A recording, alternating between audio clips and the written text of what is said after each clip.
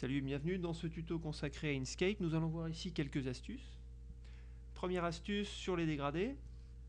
Alors avant, on va aller ici dans les préférences d'Inkscape et on vérifie que c'est bien ici décoché, ce petit paramètre là, pour interdire le partage euh, des définitions de dégradés. Pour être plus clair, ça veut dire que ici, lorsque j'ai un dégradé dont le nom est 3272 et ici 3272, si je modifie ce dégradé, l'autre sera modifié dans la mesure où ils ont le même nom. On vérifie tout de suite. Voilà, ça fonctionne très bien. C'est ça. Et on s'aperçoit que celui-ci n'a pas été modifié. Alors pourquoi? Ben On va tout de suite euh, passer au test en direct. Donc si je fais copier, édition copier, édition coller, et que je déplace cet objet, on va vérifier le nom de ce dégradé, et il s'appelle 3272-3.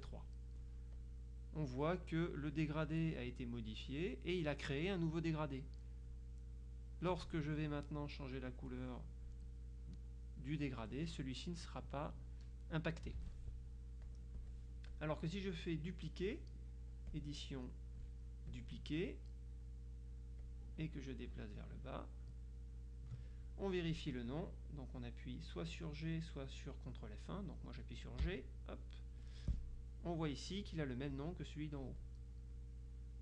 Donc ça, ça, peut être très pratique lorsqu'on a euh, besoin d'utiliser le même dégradé ou de modifier plusieurs dégradés identiques dans un document.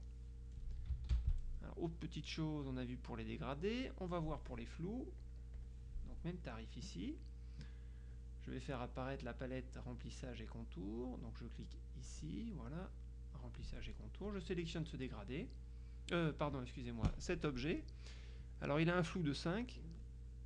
Celui-ci a un flou de 5. Et celui-là également un flou de 5. Là, on se dit, bon, bah tout est bon, il n'y a aucune différence. Sauf que lorsqu'on passe ici dans l'éditeur de filtres, on s'aperçoit qu'il y a deux filtres. Celui-là qui s'appelle F5, qu'on peut renommer, hein, j'ai renommé F5. Celui-là qui s'appelle F5, qui est identique à celui du dessous, sauf que en faisant copier-coller, Inkscape a créé un nouveau filtre. Alors qu'ici, en faisant dupliquer, on voit bien que c'est le même filtre. Donc l'avantage, toujours pareil que tout à l'heure. Si je modifie ici, au lieu de mettre 6, je vais mettre 10, je valide. Les deux filtres ici sont modifiés et les deux objets ont un flou identique en même temps.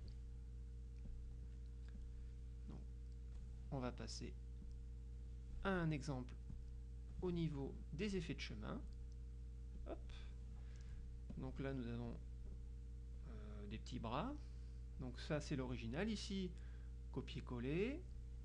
Ici, dupliquer. Comment fait-on pour savoir quelle différence il y a? Eh bien, nous allons aller dans effet, effet de chemin. Alors non, c'était pas ça, excusez-moi, c'est plutôt... Voilà, ici. L'éditeur, euh, l'arbre XML. Je clique ici, hop. Je ne veux pas dire de bêtises, mais il me semble que... Voilà, on n'a aucune, aucune information. C'est ça. Donc en passant par l'éditeur XML, on voit ici Inkscape Pass Effect, il s'appelle 4363. Celui-ci s'appelle 4363 hop, 8. Et celui-ci s'appelle 4363. On voit bien que le fait d'avoir dupliqué, on a gardé le même effet, alors que celui-là, on a créé un nouvel effet. Si je veux modifier ce bras ici, donc je sélectionne outil éditer les nœuds ici, là, je clique ici sur afficher les paramètres de l'effet chemin. Tac. Je vais par exemple augmenter la taille du biceps. On voit bien que là ça a été modifié, alors que celui-ci pas du tout. Je vais rendre hop, un peu plus costaud.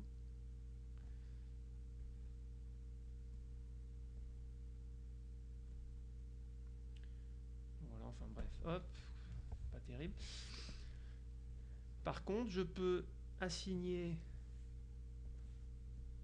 à cet objet, je peux assigner le même effet qu'à celui-là. Il suffit pour cela de supprimer le petit 8. Donc ici, je vais supprimer le petit 8. Hop, et je clique sur définir. Et automatiquement, définir. Alors on voit que ça n'a pas marché. Il faut pour cela enregistrer et recharger. Et à ce moment-là, vous voyez, eh bien, on a bien le même effet partout.